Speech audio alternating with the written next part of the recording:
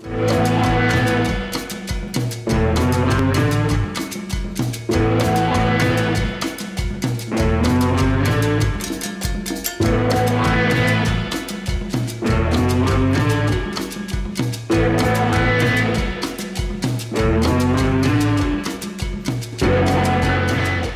so great to meet you. Same. Yeah, no, I love your art. Um, I have never seen anything like it before, and it really brings me back to my childhood. You know, uh, I feel like Mexican parties are are singular, you know, and there's Yeah. a sense of like urgency in your celebrations that I find really beautiful and something that I couldn't see as a child. And and with your art, it's something that it really highlights, and I, I love that um, idea. There is a lot of um, intergenerational trauma that I feel like we often take those times, those moments Mm-hmm. to really, I guess, to celebrate, to be in the moment, to be with family, to come together. The older I've gotten, the more I've gone back to those memories and you know realized how important they were in, in making my identity and ultimately now you know the work that I want to do. I love how extravagant these pieces are, and they just really take me back to that idea and that time.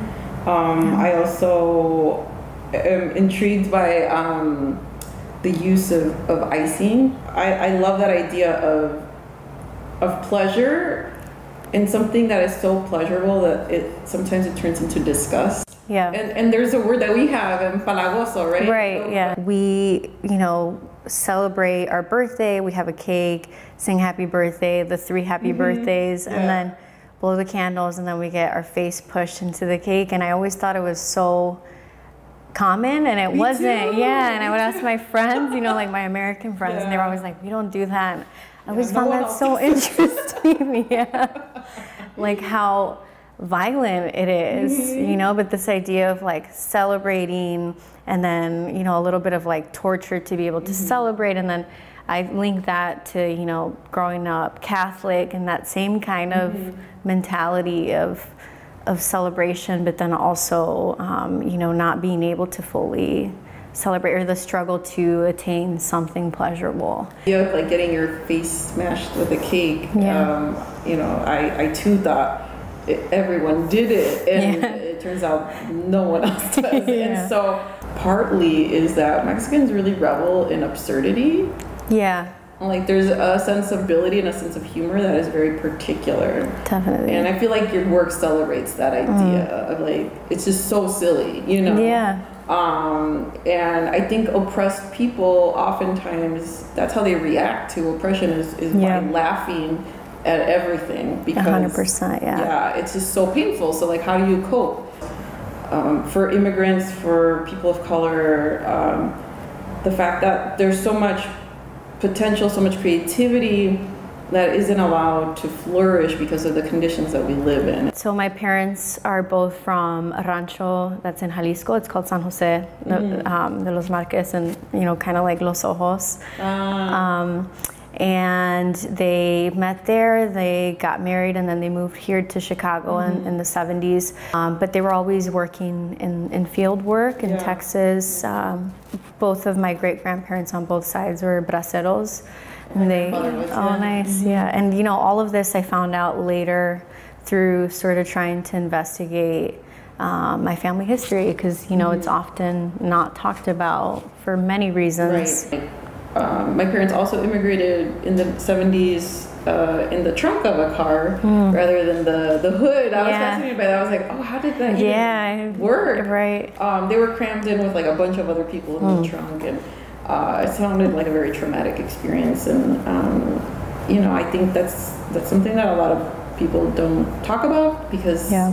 you know, like how do you tell your children like about the really horrible times in your life? You know, so um, sometimes it does take some investigating, you know, Yeah. to, to figure out like who our ancestors were, who our parents were. Um, so I, I'd like to know about how you grapple with, with the guilt that comes with being like a child of immigrants and being able to like live a life that is so different from your parents and the fact that you're able to create art for a living. I mean, that is just so special. And so, growing up with my parents always telling me stories of what home was like mm-hmm. back then to them and yeah.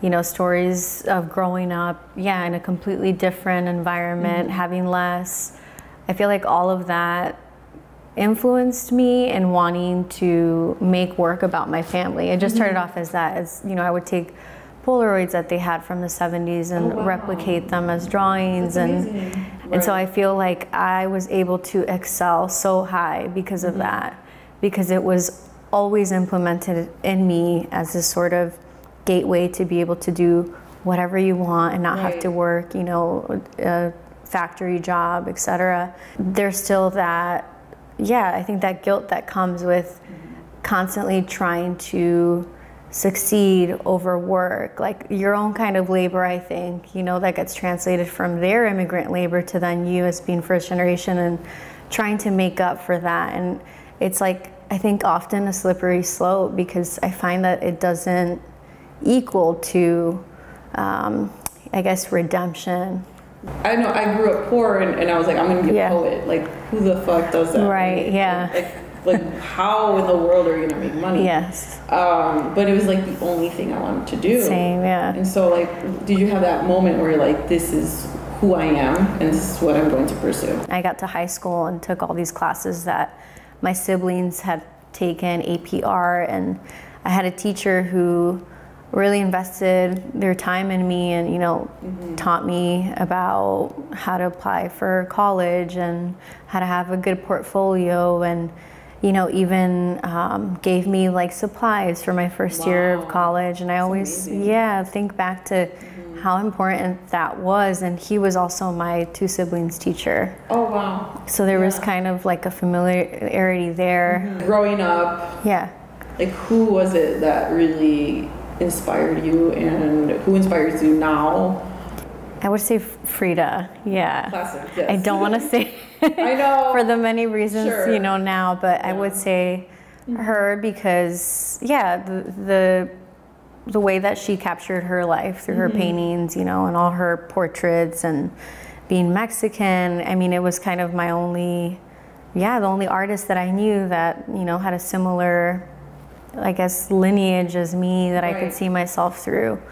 Um, and I still love her work. I just hate the way that she's been commodified. Yeah, so, I totally get it. Yeah. I, I, often don't want to bring her up. yeah. Like, of course I love Frida. Yeah. Like, doesn't love Frida? Right. and I would also say Pepon Osorio, Puerto Rican artist, oh, okay. installation artist oh, wow. who uh, creates these like amazing installations that recreate barbershops. He talks mm. a lot about like masculinity, um, trauma to also very like decadent, um, excessive. Yeah. So I would say those two. Um, yeah, you know, even through undergrad, high school, mm-hmm. seeing their work was really inspiring to me and continues to inspire me.